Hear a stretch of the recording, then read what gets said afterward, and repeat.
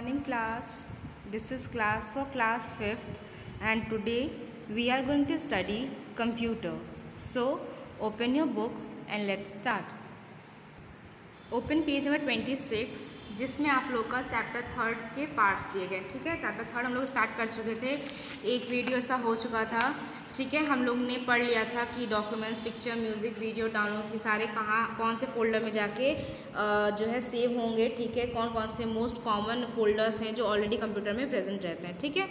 अब हम लोग जानेंगे कि कैसे हम फाइल्स और फोल्डर्स जो भी हम लोग बनाए रहते हैं, उसे हम कैसे ओपन कर सकते हैं। टू ओपन अ फ़ाइल और फोल्डर फॉलो दी स्टेप्स इन स्टेप्स को फॉलो करना है. क्लिक ऑन स्टार्ट मेनू जो हमारे स्क्रीन पे रहता है स्टार्ट मेनू इसको हमें क्लिक करना है. The start menu will appear इसको हम क्या कहते हैं? स्टार्ट मेनू जो हमें मेरे स्क्रीन पे, हम लोग के स्क्रीन पे शो होने लगेगा. ओपन विंडो एक्सप्लोरर वहाँ से हमें क्या सेलेक्ट करना है? विंडो एक्सप्लोरर को सेलेक्ट करना है. ठीक है, उसका double click on the folder उसके बाद जैसे हम विंडो एक्सप्लोरर ओपन करेंगे तो हमारे पास कुछ इस तरह से शो होगा। वहाँ से हमें उस फोल्डर को पे डबल क्लिक करना है मतलब डबल क्लिक करना है माउस पे, ठीक है? उस फोल्डर पे ले जाके, जिसे हम देखना चाहते हैं। Window seven will display the content of the folder, including the sub folders ठीक है? तो ये जो है, क्या करेगा? इसके अंदर अगर कोई सब फोल्डर्स है, उन्हें भी शो करेगा। इसके अंदर जो फाइल्स हैं, उन्हें भी शो करेगा। मतलब जो भी चीज़ें हैं, जो भी उस फोल्डर में रहेगा, वो सारी चीज़ें आपको शो होने लगेंगी। ठीक है? Double click on the sub folder icon if the files you want to open are stored in sub sub folder ठीक है? आप उसके बाद उस सब फोल्डर पे भी क्लिक कर सकते हो, ठीक है? जिसके अंडर और भी फाइल्स होंगे, और अगर आपको वो फाइल्स चाहिए तो आप सब फोल्डर पे भी क्लिक कर सकते हो। Window seven will display the content of the sub folder window seven जो है आपके जो भी कंटेंट्स रहेंगे सब फोल्डर में, उन्हें भी शो करने लगेगा। Selecting files and folder while working with files and folder the very first step is to select the particular file or folder you want to work with ठीक है क्या है जैसे जैसे आप फाइल्स और फोल्डर के साथ वर्क करोगे ठीक है सबसे पहला जो आ, काम है ठीक है आप कैसे कर सकते हो फाइल्स और फोल्डर के साथ तो कैसे सेलेक्ट कर सकते हो ठीक है तो उसको हम लोग देख लेते हैं सेलेक्टिंग वन फ़ाइल अगर आपको एक फ़ाइल को सेव करना है तो आप क्या करोगे? Open the folder containing file उस फोल्डर का जो है, उसको सेलेक्ट ओपन करना है, जिस भी फोल्डर में वो फ़ाइल हो। Click on the file icon you want to select the file become highlighted जिस भी, जैसे ये हाईलाइटेड फ़ाइल है, अगर इसको हमें सेलेक्ट करना है, इस जाके हम क्लिक करेंगे तो हमारा फ़ाइल क्या हो जाएगा? सेलेक्ट हो जाएगा, ठीक है? सेलेक्टिंग मल्टीपल फाइल्स अगर आप ऐसा करना चाहते हो कि बहुत सारे फाइल्स एक साथ आप सेलेक्ट करना चाहते हो तो क्या करोगे? फिर से आपको क्या करना है? वो उस फोल्डर को ओपन करना है जिसमें फाइल्स होंगी। Click on the first file you want to select सबसे पहले आप फ़र्स्ट फ़ाइल पे सेलेक्ट करोगे जो फ़र्स्ट फ़ाइल आपको चाहिए। जैसे आपको ये चारों फाइल्स चाहिए तो सबसे पहले आप इस पर क्लिक करोगे। Press and hold down control key as you click on each file you want to select ठीक है? प्रेस और होल्ड करके रखना है कंट्रोल की को आपके कीबोर्ड में कंट्रोल की होता है, उसको दबा के एक प्रेस करके रखना है आपको, और उसके बाद जो भी जो भी फ़ाइल आप सेलेक्ट करना चाहते हो, उस पर जाके आपको क्लिक करते रहना है तो आपके जो भी फाइल्स हैं, वो बहुत सारे एक साथ सेलेक्ट हो जाएँगे, और वो सारे जो है देखो हाईलाइट हो रहे हैं computer book perfect final sorry preface final preface final two computer ये सारी चीज़ें क्या है? सेलेक्टेड है, इस वजह से ये हाईलाइटेड शो हो रही है, ठीक है? अब अगर आपको क्या करना है सेलेक्ट ऑल फ़ाइल जितने भी फाइल्स हैं, वो सारे अगर आपको सेलेक्ट करने हैं तो आपको क्या करना पड़ेगा? Open the folder containing files उस फोल्डर को ओपन करना है जिसमें फाइल्स होंगे। Click on organise organise option पे क्लिक करना है जो कहाँ पे रहता है। आप लोग यहाँ पे देख सकते हैं सबसे ऊपर, यहाँ पाया जाता है ऑर्गेनाइज ऑप्शन उस पर क्लिक करना है। सेलेक्ट ऑल का ऑप्शन इसमें रहता है, उसको क्लिक करना है। तो आपका विंडो सेवन क्या करेगा? जितने भी आप लोग के फाइल्स हैं, वो सब क्या करेगा? सेलेक्ट कर लेगा। फिर डी सेलेक्टिंग ऑफ़ फ़ाइल अगर मान लीजिए उसमें से अगर आपको एक एक, एक फ़ाइल या दो फ़ाइल मान लीजिए आपने सारे सेलेक्ट कर लिए ठीक है? उसके बाद आपको एक से दो फ़ाइल जो है आपको क्या करना है? डिसलेक्ट करना है मतलब उसको सेलेक्ट नहीं करना। तो आप क्या करोगे? To deselect a file from a multiple file selection hold down the control key and click the file you want to deselect ठीक है? इसमें भी क्या करना है क्या करना है? कीबोर्ड से कंट्रोल की को प्रेस प्रेस किए रहना है। और उस उस फ़ाइल पे क्लिक करना है जो आप डिसलेक्ट करना चाहते हो। To deselect all files click in an empty area within the folder ठीक है? उस फोल्डर की किसी भी खाली जगह पे आपको क्या करना है? एक माउस को जो है क्लिक करना है, जिससे जो सारे सेलेक्टेड फाइल्स हैं, वो सारे के सारे डिसलेक्ट हो जाएँगे। To reverse the action that is deselect the selected files and select the deselected files press alt key, click on edit and then click on invert section ठीक है, इसमें क्या करना है? अगर आपको रिवर्स करना है सिलेक्शन मतलब जो चीज़ आपको डिसेलेक्ट की हुई है, उसको सेलेक्ट करना है, जिसको सेलेक्ट किया उसको डिसेलेक्ट करना है तो आप क्या करोगे? सबसे पहले ऑल्ट की को प्रेस करना है, उसके बाद एडिट को उसके बाद एडिट में जाके क्या करना है? इन्वर्ट सेक्शन पर जाके आपको क्या करना है? क्लिक करना है, ठीक है? अब कैसे आप फ़ाइल को कॉपी कर सकते हो या एक जगह से दूसरी जगह मूव करवा सकते हो? सबसे पहले कॉपी लिखेंगे कि कैसे हम अपने फ़ाइल और फोल्डर को कॉपी कर सकते हैं। When you move a file जब आप एक फ़ाइल को मूव करते हो the file will disappear from is original location and will appear in the new location जब आप मूव करते हो किसी फ़ाइल को तो एक फ़ाइल क्या होता है? उस जगह से गायब होकर दूसरी जगह पे पहुँच जाता है। You can copy a single file और multiple file you copy a file लेकिन कॉपी में क्या होता है? कि जो ओरिजिनल लोकेशन है वहाँ पे भी रहता है और जहाँ पे आप कॉपी करना चाहते हो वहाँ पे भी आपके फाइल्स और फोल्डर्स रहते हैं ठीक है? अब आप कॉपी कैसे कर सकते हो? सबसे पहले आपको वो फोल्डर ओपन करना है जिस फोल्डर में आपका फ़ाइल है और उस फ़ाइल को आप कॉपी करना चाहते हो उस फोल्डर को आपको ओपन करना है उस फ़ाइल को सेलेक्ट करना है। अभी हमने पढ़ा कि कैसे हम सेलेक्ट कर सकें। उसका ऑर्गेनाइज में जाके कॉपी ऑप्शन रहता है उस पर जैसे ही क्लिक करेंगे तो हमारा क्या हो जाएगा? जो आ, हमारा फ़ाइल है वो कॉपी हो जाएगा। उसके बाद हम पेस्ट कैसे कर सकते हैं? किसी और जगह पे अगर हमें पेस्ट करना है, किसी और फोल्डर में हमें पेस्ट करना है फिर हमें वो लोकेशन ओपन करनी है, उसके बाद यहाँ पे क्या करना है, फिर ऑर्गेनाइज पे जाना है, वहाँ पे पेस्ट ऑप्शन रहता है। पेस्ट ऑप्शन जैसे करेंगे तो हमारा जो कॉपी फ़ाइल और फोल्डर रहेगा, वो हमारा यहाँ पे एम स्पेस में आके पेस्ट हो जाएगा, ठीक है? Moving of file you can move a single file और मल्टीपल फ़ाइल आप एक साथ जो है, एक फ़ाइल या एक साथ बहुत सारे फ़ाइल एक जगह से दूसरी जगह मूव करो मूव मतलब क्या हो गया? कि आप क्या कर सकते हो? मतलब ओरिजिनल जगह से हटा के किसी दूसरी जगह पे आप रख सकते हो। कॉपी मतलब क्या है? वो ओरिजिनल लोकेशन पे भी रहेगा और जिस जगह पेस्ट करोगे, वहाँ पे भी रहेगा। ठीक है? अब कैसे कर सकते हो आप? एक फ़ाइल फोल्डर कैसे मूव करवा सकते हो? सबसे पहले आपको क्या करना है? वो फोल्डर ओपन करना है। उसमें से उस फ़ाइल को सेलेक्ट करना है, जिसे आप मूव करवाना चाहते हो। उसके बाद क्या करना है ऑर्गेनाइज पे जाके कट ऑप्शन पे क्लिक करना है तो आपका क्या हो जाएगा, वो फ़ाइल वहाँ से हट जाएगा। उसके बाद विंडो सेवन से आप जाके वो फोल्डर फ़ाइल ओपन करो, जहाँ पे आप क्या करना चाहते हो, उस उस मूव्ड फ़ाइल और फोल्डर को पेस्ट करना चाहते हो। वो एक पेज जो है, आप ओपन कर लीजिए। उसके बाद क्या करना है, उस पे, उस पेज पे जाके आपको फिर से क्या करना है ऑर्गेनाइज ऑप्शन पे क्लिक करना है। उसमें रहता है पेस्ट ऑप्शन पेस्ट ऑप्शन पे जैसे आप क्लिक करोगे तो आपका जो भी फ़ाइल है या फोल्डर है, वो आके आपके न्यू जगह पे पेस्ट हो जाएगा, ठीक है? क्रिएटिंग अ न्यू फ़ाइल और फोल्डर अब हम एक न्यू फ़ाइल और फोल्डर कैसे क्रिएट कर सकते हैं? The most common way to create a new file is by using a program ठीक है? जो सबसे कॉमन तरीका है, ठीक है? एक न्यू फ़ाइल बनाने का, वो क्या है? एक प्रोग्राम यूज़ करके। आप एक प्रोग्राम यूज़ करके बहुत ईजिली जो है एक न्यू फ़ाइल और फोल्डर बना सकते हो। But you can also create a file without opening any program और एन एप्लीकेशन बट लेकिन आप क्या कर सकते हो? मतलब किसी प्रोग्राम को खोले बिना या किसी एप्लीकेशन को खोले बिना भी फाइल्स को क्रिएट कर सकते हो। कैसे?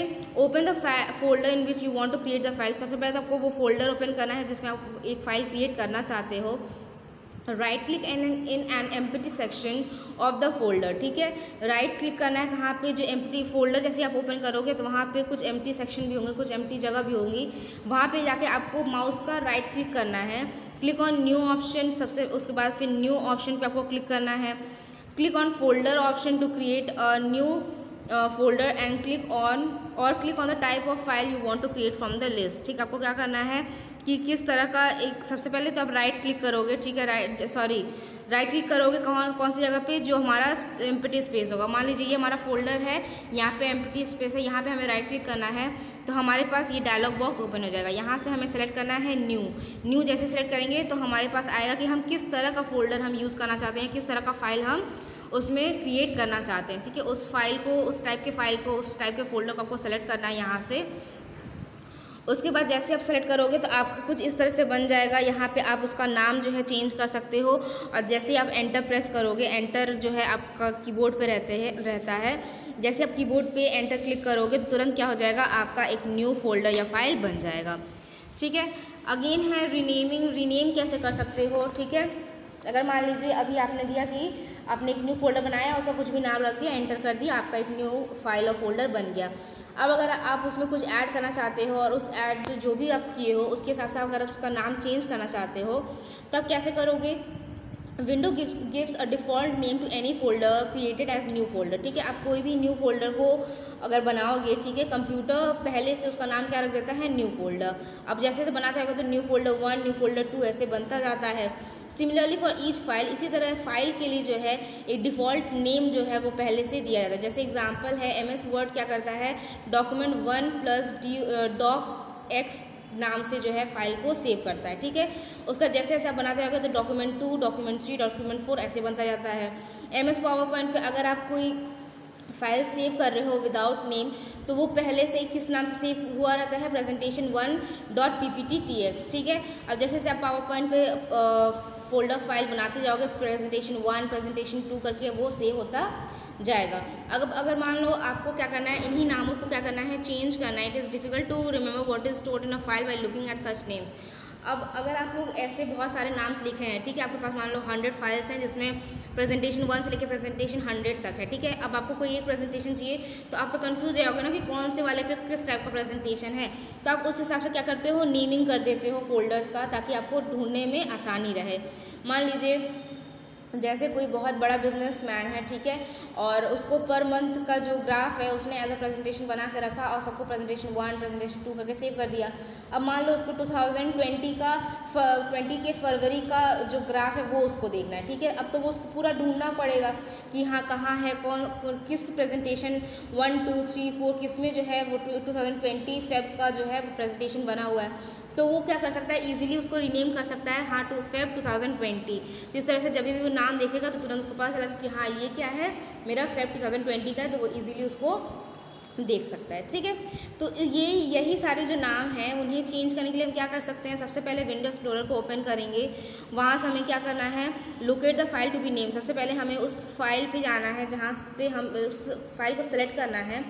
जिसको हमें, जिसका नाम हमें चेंज करना है। उसका जैसे हम ऑर्गेनाइज पे जाएँगे, वहाँ पे हमारा ऑप्शन रहता है रीनेम ठीक है? कौन सा ऑप्शन रहता है? रीनेम इस पर क्लिक करेंगे तो हमारे पास कुछ आ जाएगा इस तरह से। ठीक है? इस तरह से बॉक्स बन के आ जाएगा।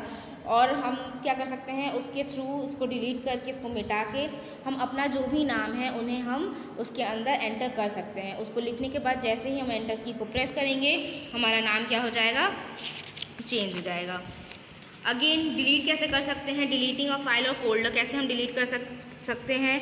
फ़र्स्ट है when open the folder that contain the file you want to delete सबसे पहले तो आपको वो फ़ाइल को या फोल्डर को ओपन करना है। उस फ़ाइल को सेलेक्ट करना, उसमें से जिसे आप डिलीट करना चाहते हो click on the file you want to delete उस फ़ाइल पे क्लिक करो जिसको आप डिलीट करना चाहते हो ऑर्गेनाइज पे क्लिक करो ऑर्गेनाइज में ही डिलीट ऑप्शन रहता है डिलीट ऑप्शन पे जैसे आप क्लिक करोगे, आपका फ़ाइल क्या हो जाएगा सॉरी आपके पास एक delete file dialog box open हो जाएगा, ठीक है? यहाँ से आपको क्या करना है येस पे क्लिक करना है तो आपका जो फ़ाइल है वो फोल्डर से डिसअपेयर मतलब नहीं दिखेगा आपको।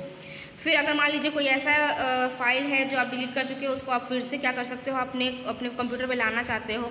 आपसे गलती से वो डिलीट हो गया तो कैसे कर सकते हो? रिसाइकिल बीन एक प्रोग्राम होता है आपके कंप्यूटर में डिफ़ॉल्टिव मतलब डिफ़ॉल्ट तरीके से फ़ीड होता है, पहले से ही फ़ीड होता है वो। उसके बाद उस पर क्या करना है? हमें राइट क्लिक करना है उस फ़ाइल और फोल्डर को रीस्टोर करने के लिए, ठीक है? जैसे उस पर क्लिक करेंगे तो हमारा कुछ इस तरह से शो होने लगेगा। अब मान लीजिए इसको हमें क्या करना है? इस फोल्डर को हमें रीस्टोर करना है। इसलिए हमें क्या करना है? राइट क्लिक करना है। उसके बाद यहाँ पे रीस्टोर का ऑप्शन आएगा। रीस्टोर पे क्लिक करना है। ठीक है? तो हमारा क्या हो जाएगा? फिर से जो फ़ाइल है, वो हमारा रिसाइकिल बीन से हट जाएगा और ओरिजिनल फोल्डर जो था, वहाँ पे हमारा शो होने लगेगा। और क्या क्या चीज़ें हैं विंडो सेवन में? Touch screen jump list window mobile ठीक है? क्या है ये? माइक्रोसॉफ्ट है design window seven to simplify your every day task ठीक है? माइक्रोसॉफ्ट ने क्या किया? विंडो सेवन को डिज़ाइन किया है आपके काम को आसान बनाने के लिए। It works the way you want and make new thing possible ये जो है, हर तरीके से कहीं ना कहीं आपकी हेल्प करता है, आपकी चीज़ों को आसान बनाता है। The special feature of window seven are special क्या फीचर्स हैं? फ़र्स्ट टच स्क्रीन आप बहुत सारे ऐसी चीज़ें अब आ गई हैं टेक्नोलॉजी की वजह से। आप क्या कर सकते हो? विदाउट माउस भी आप अपने काम को कर सकते हो, ठीक है?